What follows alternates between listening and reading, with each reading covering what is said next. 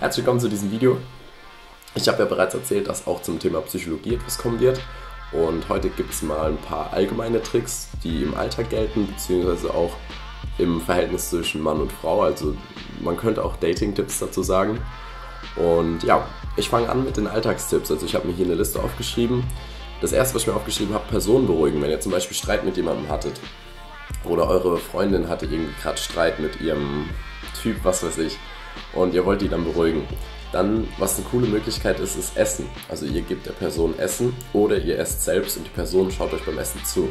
Es hat eine extrem beruhigende Wirkung. Ich weiß jetzt nicht wirklich warum, aber es wurde halt bewiesen und das ist eigentlich ganz witzig. Dann, was ihr auch noch machen könnt, ähm, ihr, oder ihr solltet versuchen, Konfrontation zu vermeiden. Also ihr solltet euch nicht direkt gegenüberstehen und äh, ins Gesicht gucken, so wie ich jetzt in die Kamera schaue. Sondern das Beste ist, wenn ihr euch seitlich irgendwie hinstellt, dass ihr Schulter an Schulter steht. Oder wenn ihr an einem Tisch seid, dass ihr über die Kante sitzt vom Tisch, also übers Eck, um eben diese Konfrontation, dieses Hard of Hard einfach zu vermeiden. Dann beim Einkaufen, also Supermärkte nutzen natürlich auch Psychologie. Und wenn ihr zu einem Regal kommt, das erste, was ihr eigentlich sozusagen auf Augenhöhe habt, sind ja die Produkte, die natürlich auf, eurem, auf eurer Kopfhöhe sind. Und dort stehen meistens die teureren Produkte. Also wenn ihr versucht oder wenn ihr darauf achtet, schaut mal unten im Regal bzw. oben im Regal sind meistens die billigeren Produkte. Weil halt die auf Augenhöhe Produkte die sind, die am meisten gegriffen werden, weil wir sie halt als erstes sehen. Dann gibt es zwei Dramen im Leben. Und äh, das fand ich irgendwie, das ist, könnte man auch ein Real Talk-Video drüber machen, aber diese Zwei-Dramen-Theorie sagt einfach, dass man sozusagen einen unerfüllten, einen unerfüllten Wunsch hat im Leben und einen erfüllten Wunsch. Und das bedeutet einfach, wenn ihr zum Beispiel einen Wunsch habt und ihr wollt es unbedingt, dann seid ihr die ganze Zeit ähm, auf der Jagd sozusagen nach diesem Wunsch. Und ihr werdet aber nicht glücklich, weil ihr diesen Wunsch nicht erfüllt bekommt. Ihr schafft es nicht, ihr kommt da nicht hin. Dann im Gegensatz dazu gibt es den erfüllten Wunsch. Also ihr erreicht ein Ziel und was ist dann? Weißt du, ihr, oder ihr steht dann vor so einer großen Leere. Und das besagt einfach, dass man einfach nur wunschlos glücklich sein kann. Weil wenn man es erreicht hat, dann steht man vor einem großen Nichts und weiß nicht was. Und wenn man das nicht erreicht, beziehungsweise nie erreicht, dann ist man auch nicht glücklich, weil man halt versucht, immer dieses Ziel zu erreichen. Deswegen kann man eigentlich nur wunschlos glücklich sein. Gut, kommen wir zum vielleicht interessanteren Thema, und zwar zum Thema Dating. Ähm, wenn ihr zum Beispiel ein Interesse an einer Person habt und ähm, ihr merkt so, okay, ihr lernt die vielleicht ganz neu kennen, ihr seid unterwegs irgendwie in Bars oder auch ganz woanders, das kann ja auch in der Schule oder in der Uni sein. Und das Erste, was ihr machen müsst, ist natürlich irgendwie Vertrauen aufzubauen, um, um mit der Person halt irgendwie näher zu kommen. Äh, ich werde jetzt nicht sagen, so, ja, das müsst ihr machen, um sie anzusprechen oder sowas. Das werde ich, darauf werde ich nicht eingehen. Aber es geht halt einfach so um ja, so allgemeine Themen, was man machen kann, um halt zu sehen, okay, hat, der, hat die andere Person auch Interesse oder ähm, hat sie eher halt so eine Abneigung zu mir. Dann, also was es gibt, ist Gemeinsamkeiten. Das ist ganz wichtig und da wird ja immer gesagt, sucht euch irgendwie ein gemeinsames Thema. Wenn ihr zum Beispiel Smalltalk führt, fragt sie halt, was sie gerne macht oder was sie so Sportart, was sie für Sport macht und dann versucht er irgendwie ein gemeinsames Thema zu finden. Was da aber viel effektiver ist, wenn ihr ein gemeinsames Thema findet, ähm, wo ihr beide eine Abneigung gegen habt, also worüber ihr zum Beispiel lästern könnt, sei es jetzt über irgendeine Fernsehshow, über irgendeinen Superstar oder sowas, weil das ähm, schweißt deutlich mehr zusammen, als wenn ihr über eine Gemeinsamkeit redet, über was ihr oder was ihr beide mögt. Das ist sehr interessant. Dann Augenkontakt und Lächeln. Also wenn ihr eine Person viel Augenkontakt zuwerft oder halt ein Lächeln, ähm, das schüttet Endorphine aus. Und ähm, wie ihr wisst, also natürlich, das ist auch viel Chemie und alles, was so in unserem Körper abgeht, das ist extrem wichtig. Den Namen wiederholen. Wenn ihr zum Beispiel euch mit einer Person unterhaltet, sprecht die Person mit ihrem Namen an. Das äh, wirkt unterbewusst, ihr wirkt sympathischer, ihr baut Vertrauen auf und das ist echt effektiv. Ihr dürft es natürlich nicht übertreiben, ihr könnt nicht in jedem Satz sagen so, hey, oder sowas, aber das könnt ihr ab und zu mal machen. Dann derselbe Humor. Schaut zum Beispiel auf was oder was die Person lustig findet, mit der ihr sprecht.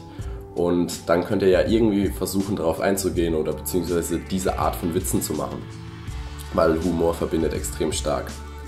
Was auch wichtig ist, zuhören. Wenn ihr zum Beispiel jetzt mit einem Mädchen unterwegs seid und die erzählt euch, ja, ich äh, gehe gern reisen und ich war jetzt da zum Beispiel in Frankreich oder ich, das ist mein Lieblingsmusiker oder vielleicht mag sie einen Fußballverein, dann merkt euch das, weil wenn ihr irgendwann mal was schenken wollt, zum Beispiel zum Geburtstag oder an Weihnachten, dann habt ihr hier eine super Möglichkeit. Zum Beispiel, wenn sie jetzt, äh, keine Ahnung, Bayern München-Fan ist oder so, dann könnt ihr ihr ein Trikot schenken.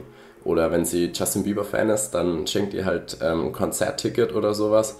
Und ähm, ja, also da gibt es viele Möglichkeiten. Und hört da einfach zu, macht euch eventuell Notizen, falls ihr es euch nicht merken könnt. Das ist, immer hilfreich. Dann positiver Eindruck.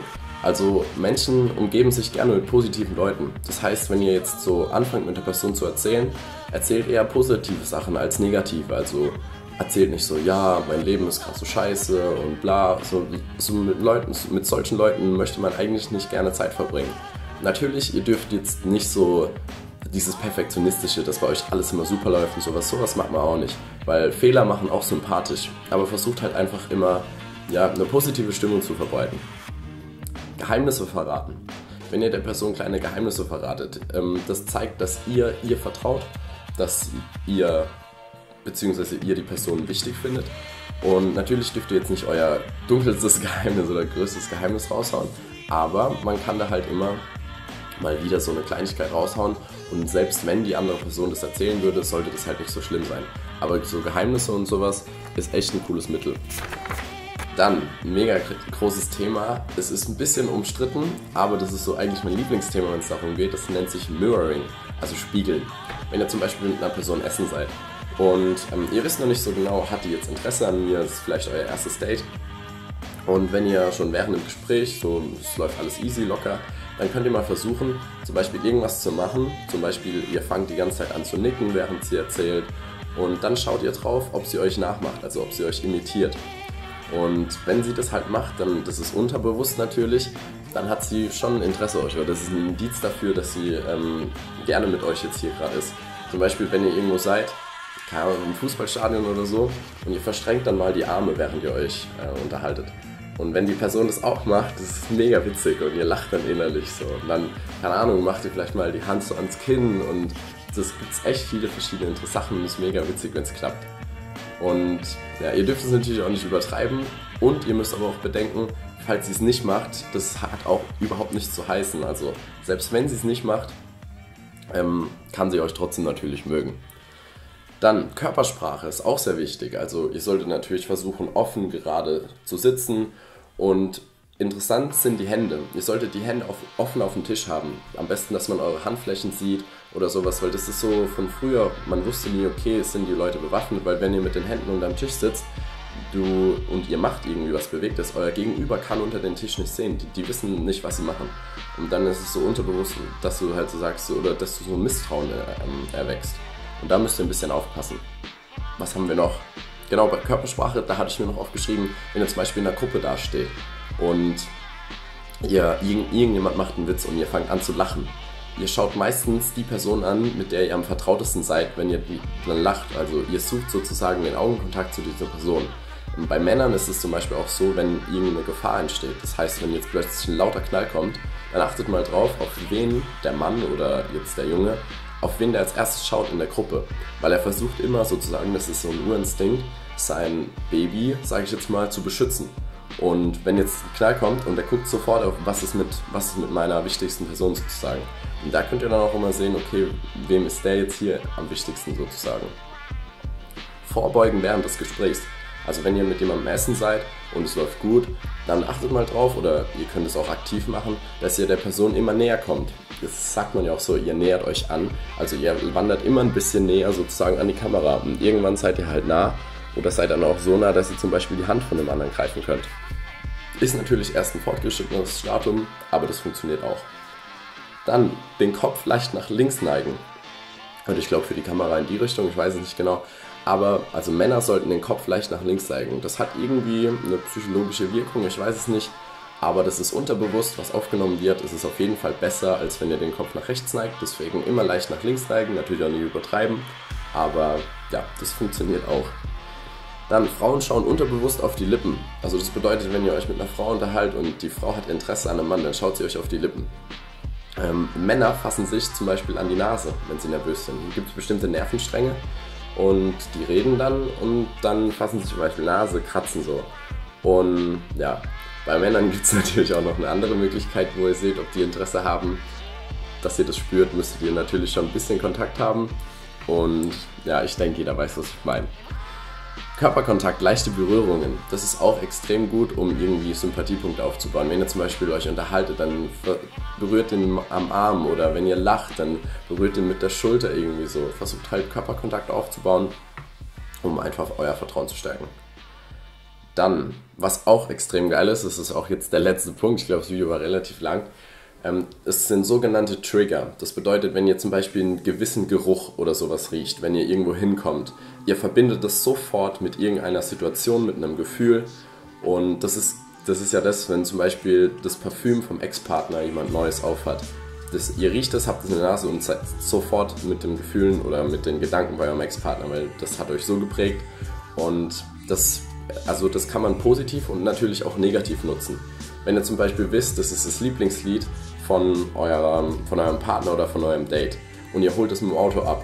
Dann kommt ihr dorthin, macht halt kurz bevor ihr da ankommt dieses Lied an und wenn sie ins Auto steigt, hört sie schon mal ihr Lieblingslied. Ich meine, wie cool ist das denn? Dann hat sie schon mal sofort positive Stimmung, findet es geil, das ist unterbewusst, dass jetzt dieses Lied läuft und sie wird es euch ja nicht unterstellen sozusagen. Das ist mega cool. Und das könnt ihr auch also mit Gerüchen zum Beispiel machen, wenn ihr wenn ihr wisst jetzt, ähm, okay, die steht irgendwie auf das und das Parfüm, weil sie das mal erwähnt hat oder das Deo gefällt ihr gut. Ihr könnt auch mit ihr Parfüm gehen, äh, kaufen gehen können. Ist ja auch easy. Und dann nehmt ihr halt das und halt nicht euer anderes. Und da gibt es verschiedene Sachen und das kann man echt cool nutzen. Ja, das war's jetzt mit meinen Punkten. Ich hoffe, es hat euch gefallen. Wenn ihr mehr von solchen Themen bzw. so Psychologie-Tricks sehen wollt, dann könnt ihr das gerne kommentieren oder like das Video, damit ich sehe, dass es euch gefallen hat. Und ja, ich bedanke mich fürs Zuschauen und bis zum nächsten Mal.